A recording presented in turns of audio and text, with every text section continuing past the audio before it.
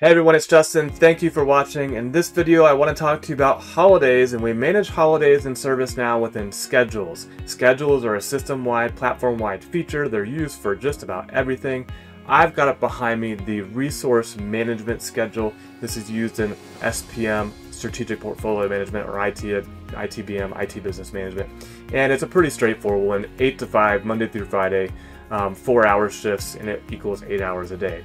Um, if you look, I've got uh, September up here behind me, and uh, right here for um, September the 5th, we've still got, you know, eight hours, but it's a US holiday, so people shouldn't be working, right? So we want to fix that. I'm going to close this view here. We're going to take a look at my resource management schedule.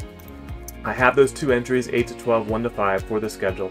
I want to create a child schedule. This is how you do it in ServiceNow. And um, I'm going to go ahead and click the new button in order to create that child schedule. So we're going to basically set up a holiday underneath this particular schedule. I'm going to call this US Labor Day. And I'm not going to set a parent. I'm going to set the type to holiday, right? So this is just a placeholder for it. And we'll call this US Labor Day holiday. Nice and easy, nice and easy. I'm to use save because I want to stay on this particular record. And when I stay on this particular record, it opens up right behind my head, of course, the child schedules and scheduled entries for this particular schedule. So you could have a hierarchy of schedules there, of course. Um, I'm interested in the scheduled entries, and if you look behind my uh, head on the other side of the screen, this way, I have another new button. So I want to create another entry, or the first entry for this particular one.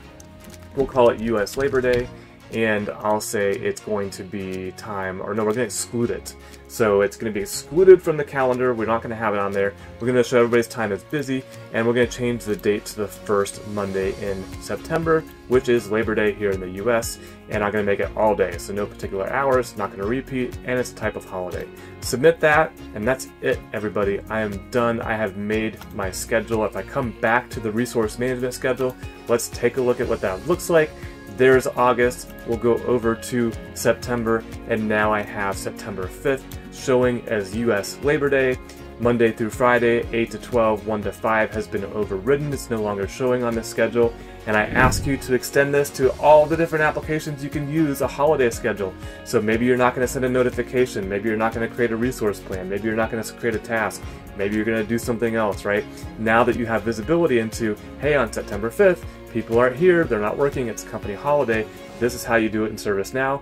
Use your schedules, create a child schedule, and make sure the schedule entry on there is excluded. I hope you found this video helpful. If you did, please like, please subscribe, or share it with somebody who you think might be interested in making sure their holidays are working in ServiceNow. And until next time, don't forget, always be learning.